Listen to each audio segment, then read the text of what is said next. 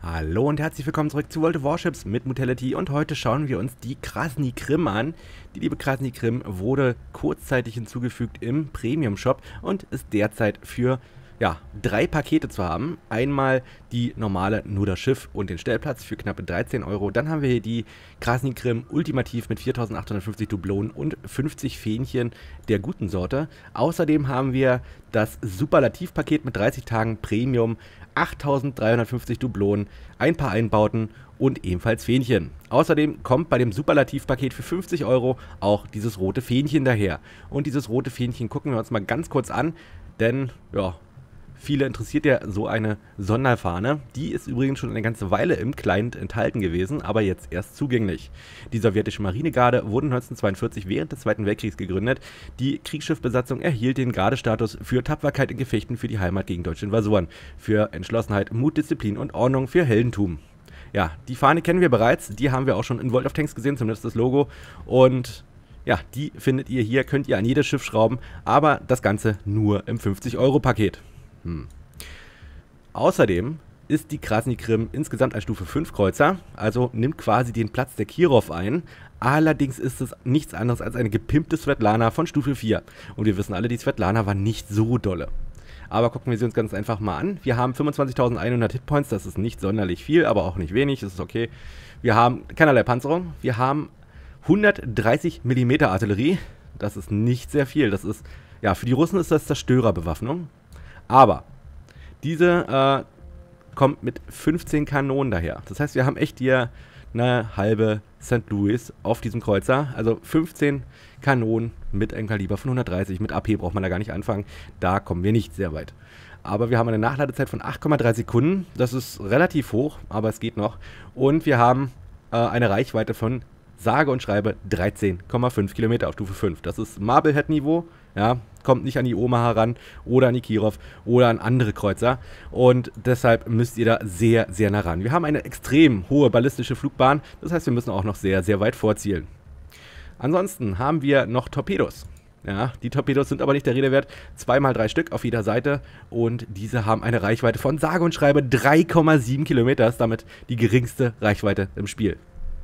65 Knoten sind wenigstens schnell da. wir haben eine ziemlich gute Flugabwehr von 28 Punkten. Hier allerdings nichts Großartiges. 12,7 Kilometer. Äh, 12,7 Millimeter. Das ist alles nicht sehr viel, aber es ist okay. Wir haben eine relativ gute Manövrierbarkeit. Von, äh, mit einem Wendekreis von 590 sind wir ziemlich gut dabei. Wir haben eine Ruderstellzeit, äh, Ruderstellzeit von 7,2 äh, Sekunden. Das ist auch noch okay. Und wir haben eine Höchstgeschwindigkeit von 29 Knoten. Das entspricht Schlachtschiffniveau. Das ist nicht sonderlich viel. Ja, Verborgenheit braucht man ja nicht wirklich zeigen, denn wir gehen bei 13,3 Kilometer auf. Auch das ist nicht sonderlich doll. Ja, insgesamt kein gutes Schiff. Ich würde es auch nicht empfehlen, rein von den Stats her. Da ist ähm, der Premium-Russe, die Murmansk, in fast allen Punkten der Krasny Krim weit überlegen. Aber gut, wir schauen sie uns einfach mal im Spiel an. Viel Spaß. So, da sind wir auch schon mit unserer ja, aufgepimpten Svetlana auf hoher See zusammen mit der Nubia und der lieblichen Tigerin ebenfalls in der Svetlana aufgepimpt, der Kraschnikrim. Hu. Ahoi. So, wie immer, wir laden zuerst HE. Viel mehr sollte man hier auch nicht wirklich laden, denn mit 130 mm ist die Chance, dass man irgendwo durchschlägt, doch relativ gering. Zumindest, ja, im Mittelfeld. Wenn wir sehr nah dran sind, können wir uns das nochmal überlegen, aber vorher eher nicht.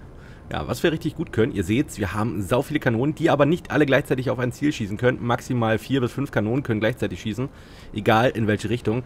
Und das macht uns eigentlich zu einem relativ guten Zerstörerjäger. Das große Problem ist, dass Zerstörer oftmals in der Reichweite ihrer eigenen Schiffe operieren. Und da sind wir dann nicht mehr so gut. ihr seht's, 13,4 Kilometer Reichweite. Dann ist vorbei. Die Königsberg kann bereits jetzt auf uns schießen.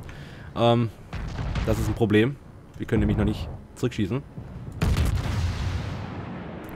Und wenn, dann halt nur mit einem Teil unserer Bewaffnung. Ich kann übrigens gerade mit sieben Kanonen gleichzeitig schießen. Sieben, okay. Sieben ist dann wohl das Maximum. Ihr seht, wir haben insgesamt 15 Geschütze, beziehungsweise 15 Türme, ein Doppelgeschütz dabei. Und das ist relativ ordentlich. Ja, aber die Feuergeschwindigkeit ist nicht ganz so hoch, wie man sich das wünschen würde. Bei 130 mm. Ein bisschen enttäuscht. Ist aber okay. Wir sind halt ein reiner HE-Schleuder. Zumindest ähm, spielt sich das damit echt angenehmer. Und versuchen natürlich das gegnerische Schiff in Brand zu setzen, was relativ einfach ist, wenn wir denn mal treffen. So, rechts Clemson. Die nehmen wir uns mal vor. Das können wir ziemlich gut. Wie gesagt, wir haben viele Geschütze. Eine relativ hohe Feuergeschwindigkeit. Tops. Und damit sollten wir uns auf jeden Fall am Anfang des Gefechts beschäftigen. Mit der Zerstörung gegnerischer DDs. Wenn wir sie denn sehen würden. Uh, da haben wir schon dick kassiert. Ich glaube, die Arkansas war das. Torps in Richtung Tieren.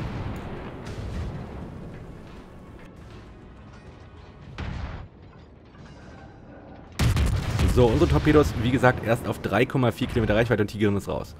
Gut, das macht es uns nicht gerade einfacher hier. Gute Nacht. Gute Nacht. Ja, niemals die Breitseite zu einem Schlachtschiff zeigen. Auch bei der Svetlana ist es extrem gefährlich. Denn wir haben maximal 75 mm Panzerung. Das ist echt nicht viel. Das ist auch fast Zerstörerniveau, ne? Das ist nicht viel. Also insgesamt, hm, weiß nicht, bin ich jetzt nicht so der Fan von dem Schiff. Man kann damit sehr gute Runden haben. In meiner ersten Runde hatte ich, glaube ich, 85.000 Schaden. Das war okay. Aber da hatte ich eher mehr Glück als Verstand. Muss man dazu sagen, dass die Leute einfach nicht auf mich geschossen haben. So, Nubia, du bist da ein bisschen sehr nah dran. Äh, ich hab's gerade gemerkt. So, ich versuche ja einfach die ganze Zeit jetzt die Wyoming hier in Brand zu schießen. Eine andere Chance habe ich nicht. Mit AP komme ich da nie durch. Niemals. Gar nicht so einfach, alle Kanonen hier irgendwie stilgerecht auf das Schiff zu bringen. Weil die haben so ganz komische Radien.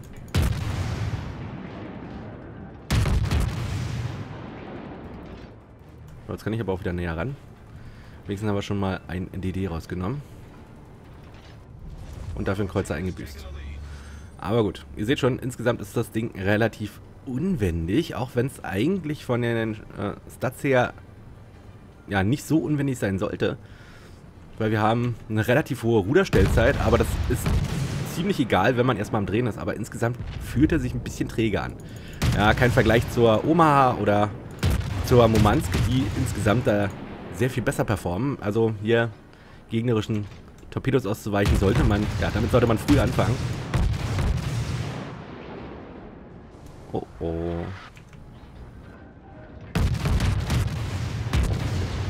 So. Ein Schlachtschiff haben wir erwischt. Oh, ich glaube, ich brenne runter. 9. Wir haben hier ein Material, eine hydroakustische Suche, die wir hier mit einbauen können. Sehr, sehr angenehm. Damit kann man noch besser Zerstörer jagen. Jetzt versuche ich mich mal mit AP auf der Königsberg. Also wenn es bei der Königsberg nicht klappt, dann klappt es nirgendwo. Ne? Ihr wisst, Königsberg hat ähnliche Panzerungswerte. Aber mal gucken, ob wir die überhaupt ordentlich durchschlagen können. So. Erstmal treffen. So, ich versuche mal noch einen Turm mehr ranzukriegen. Ich glaube nicht, dass das geht.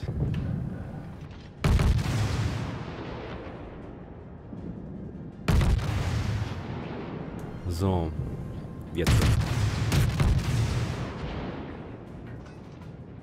Insgesamt fährt er sich relativ angenehm, wenn irgendwo ein Zerstörer auftaucht.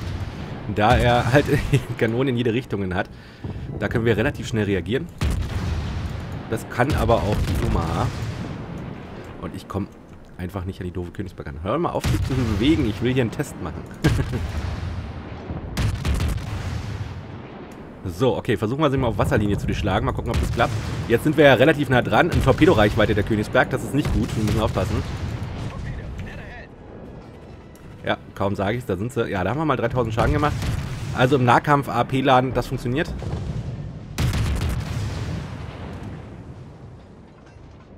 Nur jetzt durchschlagen wir sie nicht mehr, kaum ist sie ein bisschen angewinkelter. Also 130 mm, ne, das ist halt nichts. Während alle anderen äh, 152 mm ins Feld führen. Ja, ich gehe jetzt wieder auf AHI. Das hat keinen Sinn. Ähm, kommen wir einfach nirgendwo mehr durch. 130 mm ist zu wenig. Wer schon mal einen russischen Zerstörer gefahren ist, der weiß, dass man da nicht überall durchkommt. Und unsere Torpedos sind auch relativ nutzlos auf 3,7 Kilometer Reichweite. Das ist einfach viel zu wenig. Dafür sind sie verdammt schnell. Also wirklich schnell. So, wir haben hier irgendwo noch einen DD. Den werden wir uns jetzt auch noch holen. Ja, gerade mal 30.000 Schaden. Hm, hatten einfach wenig zu schießen. Am besten ist es eigentlich, wenn ihr Schlachtschiffe anzündet. Die reparieren, wir zünden sie nochmal an und suchen uns dann ein neues Ziel und zünden das ebenfalls an, um halt unsere Effektivität zu steigern und dann eventuell noch irgendwo mithelfen, wo gerade ein Schiff zusammengeschossen wird. Na, wir sind ein relativ guter Supportkreuzer. Können schnell unser Feuer verlagern. Aber wir soll, haben echt nichts an der, an der Front zu suchen. Gar nichts. Das ist. Ich habe mal versucht, ähm, ein Schiff zu torpedieren. Bin wirklich sehr, sehr an herangefahren. Und von 100 auf 0 geschossen worden. Ist klar, wir sind halt wirklich ein Kreuzer, der keinerlei Panzerung ins Feld führt. Und es lohnt sich nicht, ne? Darauf sollte man sich nicht verlassen. Die Torpedos sind wirklich nur ganz, ganz selten einzusetzen. Also insgesamt halte ich sie nicht für einen schönen Premium. Er ist okay, aber nicht schön.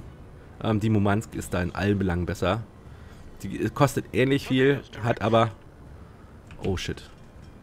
Bessere Möglichkeiten. Ja, den kriegen wir ab. Mist. Okay, wir haben hier irgendwo noch einen Zerstörer. Da ist er. Also die Momansk ist in allen Belangen irgendwie besser. Ich finde die auch angenehmer zu spielen, muss ich ganz ehrlich sagen. Und sie kann das, was wir jetzt gerade machen, Zerstörer jagen, sehr viel, viel besser. So, den können wir ausweichen, die sind wir früh genug. So, oh, überdreht, überdreht, überdreht, überdreht. Ja, ja, geht. Ich sag ja, der fährt sich ein bisschen wie ein Backstein. Das ist echt nicht einfach. Was wir aber gut machen können, ist hier wirklich in einem Nebel zu jagen. Na, da kommen die Schüsse her.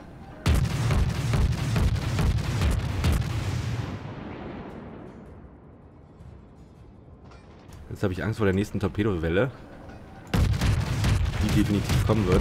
Das geht aus dem Cap raus, ne? Naja, ich muss aus dem Cap raus. Weil ich sonst zusammengeschossen werde. So. Ich muss hier irgendwie versuchen, dem Zerstörer auf den Fuß zu folgen. Da ist er. Weil sonst wären wir hier zusammengeschossen.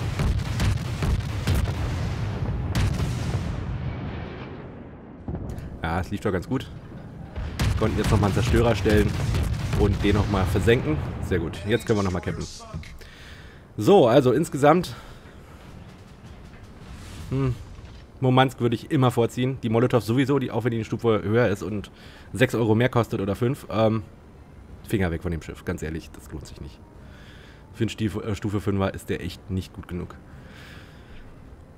Aber gut, wer russische Besatzungen dauerhaft irgendwie hier in die Trainingseinheiten schicken will, der braucht vielleicht zwei oder drei Premium-Schiffe und da ist es wohl so oder so, egal was ich sage. Sammler kaufen sich das sowieso. Aber ich persönlich würde jedem Neuling davon abraten, das Ding zu kaufen. Holt euch lieber die Momans, die ist wirklich in allen Belangen besser, hat mehr Reichweite, hat bessere Torpedos, ist besser im Manövrieren, ist schneller, hat zwar weniger Kanonen, aber nein, mein Gott, hat dafür ein größeres Kaliber. Und die Molotow ist sowieso allen überlegen durch ihre wirklich sehr starke Bewaffnung. Und wir haben hier 38.000 Schaden gemacht. Also es geht weit mehr mit der. Aber auch vor den Credits hier 257.000 ist jetzt nicht so doll, geht aber für Stufe 5. Wir sind auf Platz 1 mit 1122 äh, XP. Wir haben ein paar Schiffchen zerstört, aber insgesamt, nee. Tut mir leid, ich kann mich mit dem nicht anfreunden. Für Sammler allemal wert, aber. Oder für Russenfreunde, aber ansonsten. Hm, nee, tut mir leid, die Momansk ist da wirklich besser. Gut, das war's dann erstmal mit World of Warships für heute. Wir sehen uns demnächst wieder. Macht's gut, bis bald, Elmo. Tschüss.